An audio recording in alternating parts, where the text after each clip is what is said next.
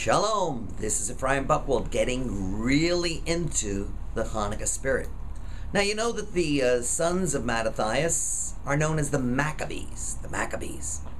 Uh, Maccabee is a Hebrew acronym for the phrase in the Bible, Mi Kamocha Be'elim Hashem, who is like the Lord among the mighty, which the Jews sang out in unison as they crossed the Red Sea.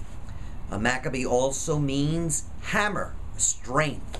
And the word Maccabee today means someone who is of extraordinary strength and tenacity.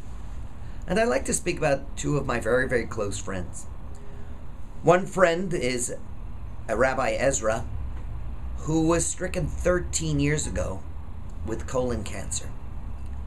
And I have had the opportunity to sit with him over the years during his chemo sessions and his operations and to see the incredible willpower and strength and faith that he has is really something that is absolutely inspirational.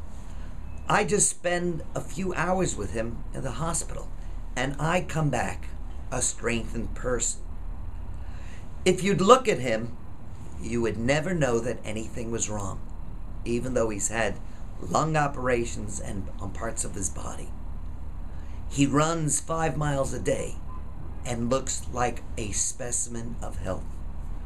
I pray that my friend Ezra be fully healed because he truly is a Maccabee.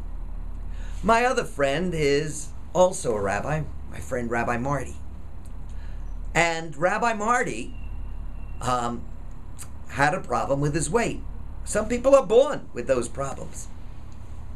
But he has lost 85 pounds since August.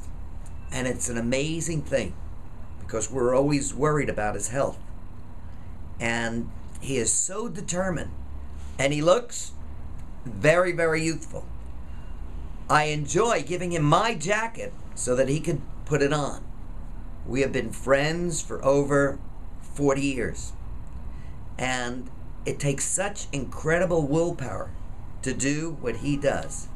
And I also admire him as a Maccabee. So a Maccabee doesn't have to be a fighter who goes out and defeats the enemies. A Maccabee can be a person of resolute will who is determined to overcome challenges that seem to be insurmountable. And I want to express my tributes to my friends Ezra and to Marty and to bless them with good health and long life. Happy Hanukkah to all.